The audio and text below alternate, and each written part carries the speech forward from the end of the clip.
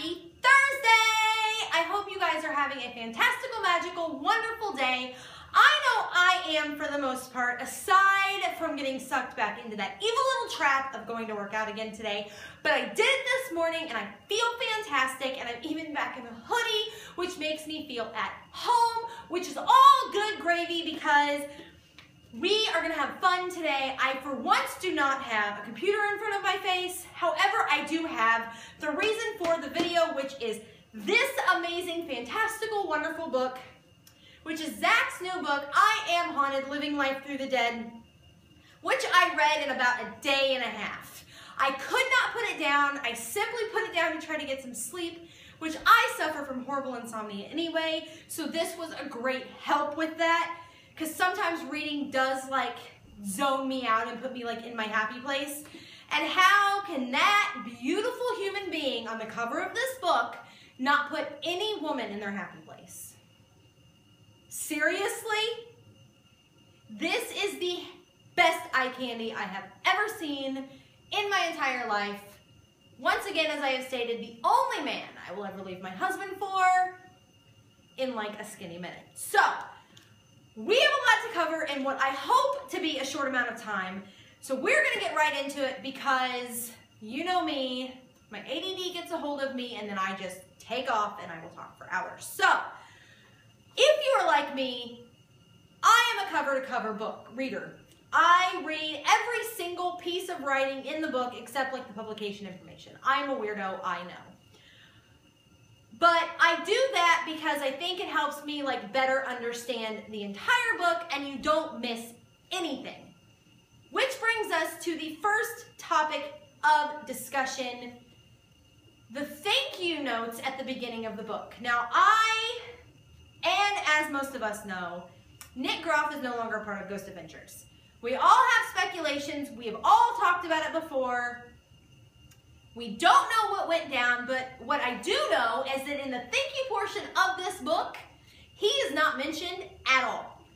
Zak mentions in detail Aaron, Billy, Jay, Ashley, Bill Chappell, all of his editing staff, his assistant, his family, everybody, but he does not mention Nick. We can all have our thoughts on that. I'm not going into it because I will just get mad, and you all know me when I'm sassy. It's not cute.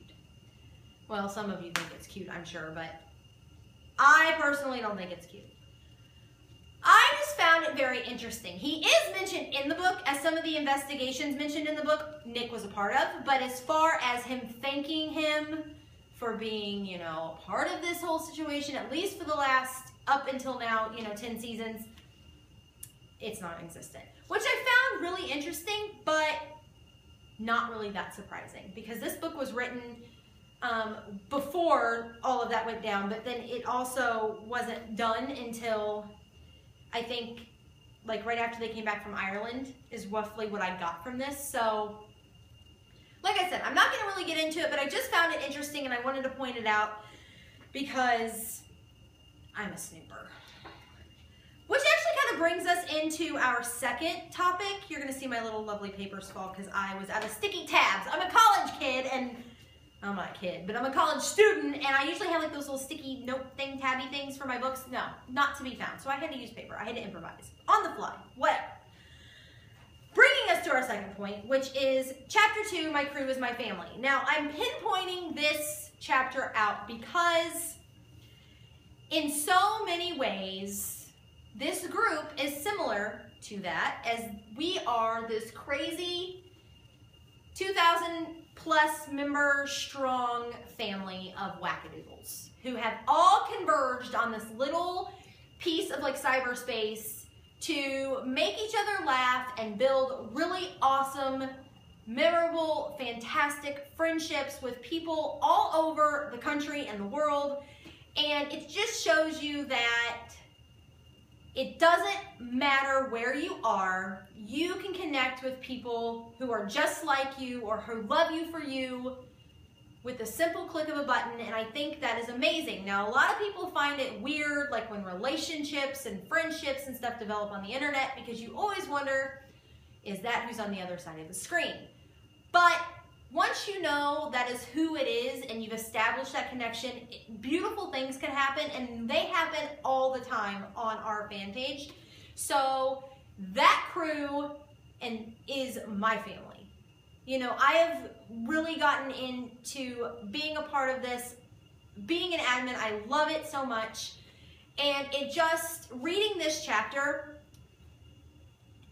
always brought me back to that. Just the inside jokes that we all have or that we've developed and the little fun things that we do together and the way that we giggle and banter and the way that we flirt and act like fools is just an amazing, amazing thing that not everybody gets to enjoy. And that is kind of what it's like for the GAC.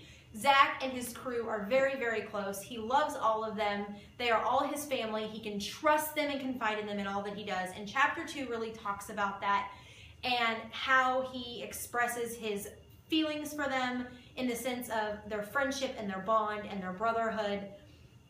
And it's just amazing, amazing to read. So yeah, like I said, Zak and his crew are a family just like this crew and me are a family. And I love it so much and I would not have it any other way. Moving on to my next point, which is something that we are all readily anticipating. The Demon House. Dun dun dun! Zak's new feature-length documentary, The Demon House, will be out sometime this fall and it's not coming fast enough. Like I said before, I am scared to death of demons. I think they are evil little urchins, but I am so interested in this story. I remember hearing about this story before Zak even picked it up and did anything with it, and I thought, oh my good gravy cow, how does a little boy walk up a freaking wall on his own like that? Oh wait, the devil. Hmm.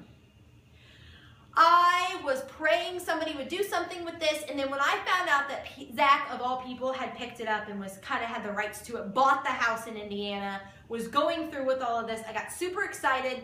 And to hear about the things that happened while they were filming for the Demon House was just solidified the story even more, and it just gave me chills and it gave me goosebumps, and I could not even, I could barely read the chapter because it was just that chilling.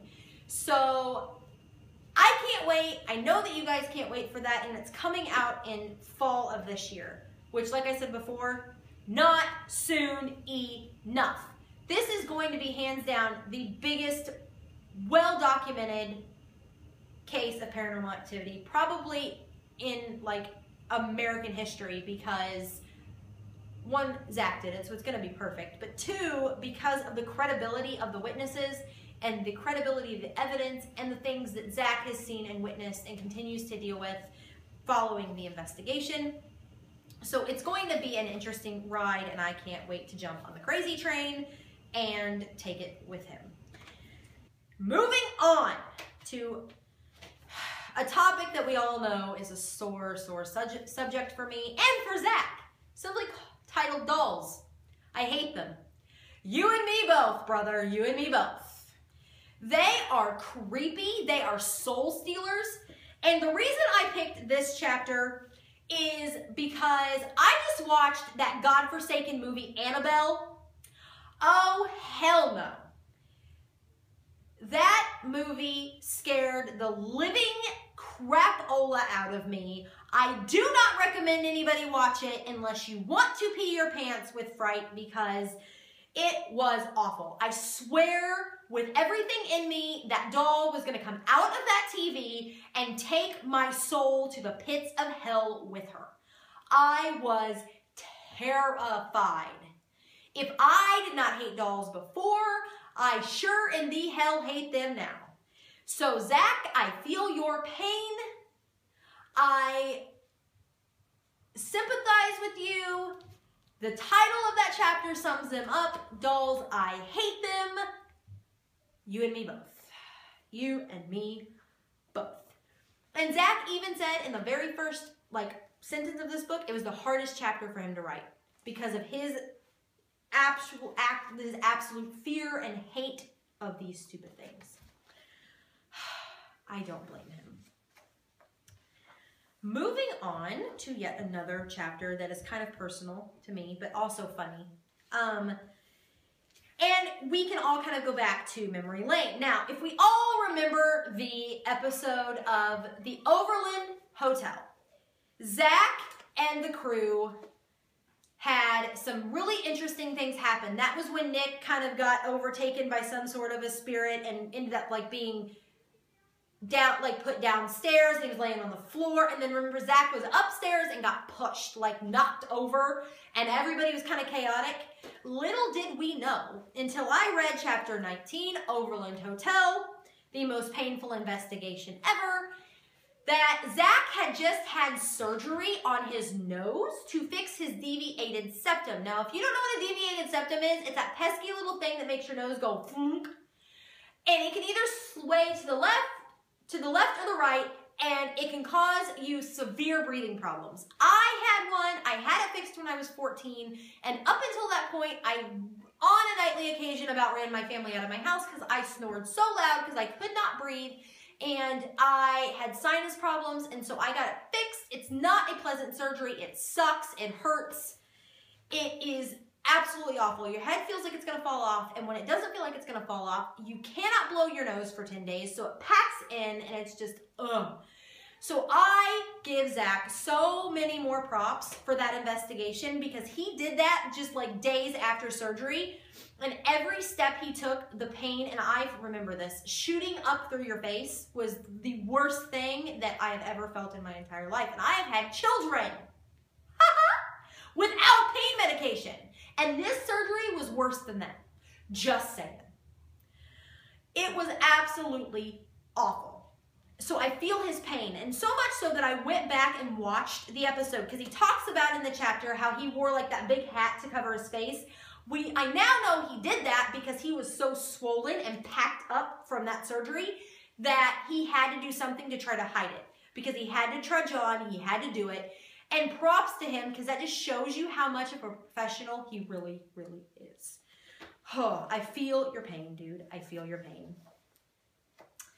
Bringing us to another chapter that, and kind of the last chapter that I'm going to talk about, which, or one of the last chapters I'm going to talk about, but I really don't need this as a reference anymore, which is Lockdown Hangover. And he talks about how it's worse than a regular one. Now, we've all had a hangover, and it sucks. You wake up the next day and you go, what the hell was I thinking? Because it was all fun and games the night before. Like those 15 tequila shots were Amaze Fest USA, and then you wake up the next day asleep on the toilet with your head hanging off like the bathtub, and you feel like a jackhammer is like in your brain, and the smell of any sort of food, it's all downhill from there. But from what I've learned, a lockdown hangover is far worse and can last far longer than a typical one. Within 24 hours of a regular hangover, you're typically back to yourself. You're feeling better, maybe a little tired, but with a lockdown hangover, according to Zak, it can last days and even weeks. No, thank you, Sam. Not my idea of a good time and it makes you really realize the effects that having uh, that doing these investigations long term can have on your body. You think oh i'm just to go talk to a spirit. No you are using your body as a channel for them to talk to you. Your energy is being sucked out of your body and put into their spirit. You're not meant to do that. So the fact that he does that on a daily basis, like a weekly basis for more than one day at a time. Props to him because, like I said, I've had a real hangover more than once in my lifetime. And I can't even imagine that mess lasting longer than a regular one does. But I learned that it does, and so I have even more respect for him than I did before. Which brings us to our last chapter that I'm going to talk about because it's something that applies to all of us. We are all fans of the Ghost Adventures crew. We are all gaga drooly, or at least some of, most of the girls are all gaga drooly over Zak and how amazingly hot he is, or Aaron, or Billy, or Jay. We're, we're just all gaga drooly over the GAC. And we all love them, and think that they're fantastic. With that being said, I'm going to make a PSA statement in my own way. Don't be a crazy fan. Don't be crazy. After reading the chapter Crazy Fans in this book, I was left shaking my head and rendered speechless. When you have to get a restraining order against a fan because they are like stalking you, that is not okay. He is a human being at the end of the day who brings us entertainment and lives to do so. He loves it. He's in love with the fact of doing his shows and all of his work. But I learned reading that chapter that we, as the normal fans, like the ones who would not maul him if they see him, I mean, I know I joke about like pouncing him and leaving my, that's all a good, I would never in my life do anything to harm him in any physical way at all. I would be respectful and be honorable because at the end of the day, he's a person who happens to do a TV show. We can all have our fangirl moments, but when people take fangirl moments way too far and you are hurting yourself or other people, not okay. Not okay. And he had stories in there of a woman jumping out of a van at McDonald's to tell him that his daughter or her daughter had been spiritually impregnated by Zak in her sleep, and now they were like carrying his love child. Are you kidding me? In McDonald's. He can't even go eat a Big Mac in peace. That breaks my heart because he talks about how the fans are that are normal, that do give him the respect that he deserves, are missing out on so much because now he's so jaded by not being able to just go outside and be a human being that we are all missing out. So he used to tweet and respond to almost every fan. Every time he could, he would. But they would get so possessive and so obsessed with him that he had to stop and do it in the sporadic way that he does it now. Now, we all know that we are one of the few lucky ones to be acknowledged by him. I mean, I've been retweeted. I know a lot of members have been retweeted. Our group has been mentioned in a comment, which was probably hands down one of the best days of our lives. But at the end of all of that, at the end of the day, we have to remember that they are people who are trying to have a normal life just like we are. Now, they know that being on TV and having a fan base, it crazy comes with the territory. But some of the stories in this book were just, you couldn't make them up. They were just beyond me. And they just made me have like a disappointment in humanity and in people because if you have to be the girl who gets a restraining order against you by Zak Bagans because you're crazy, you have issues that you need to work on because it's not that serious. He's a person. So that's all I'm going to say about that because otherwise I'm just going to get ranty and sassy and we're not going to do that. Like I said, it's not cute. But that is all I have for you for my book review with a twist without giving too much away, I hope. I'm still going to put a spoiler alert because I don't want to ruin it for anybody. But go buy it. It's like a 14 out of a 10. Just go buy the book. It's the best $24 you will ever spend. And ladies, just remember, you get to look at this space for the rest of your life because you will own it forever. So go buy it or I will hunt you down and I will be a level 5 stalker because you're missing out. All of the questions you ever could have wanted to know about past investigations or personal experiences are in this book. Go read it now. KK. Spiel over. I will be back tomorrow for GA Flashback Friday, and I will also be back on Monday for GA Recap Monday, where I'm going to be recapping a very much anticipated event, Demons in Seattle. I cannot wait to see it. I cannot wait, cannot wait, cannot wait. I'm so excited. I have seen a preview. I have seen promos. I am over the moon, scared out of my mind. So until then, stay happy, stay healthy, stay warm. As always, much love, and I will talk to you guys tomorrow.